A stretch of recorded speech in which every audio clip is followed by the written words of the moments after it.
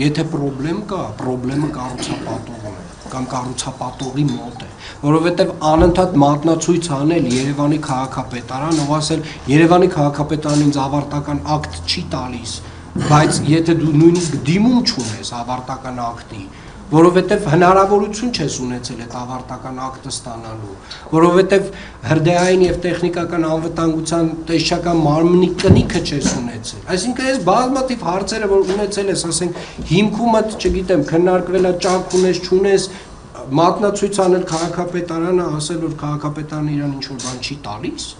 տեսել ենք այդ կառուցապատողին բանը կառուցելիս ծարավախպյուրը, որ դպրոցի փոխարենել մի հատ էլ աշենք կառուցել։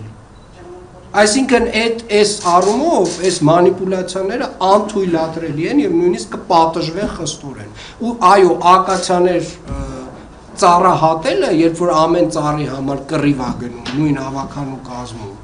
խնդիր է, այո, լուծումները կգտնենք, բայց անընդհատ Երևանի քաղաքապետանին մատնացույց պետք չի անել, որովհետեւ մենք էլ կարող ենք խոսել ու պատմել ու մանրամասնորեն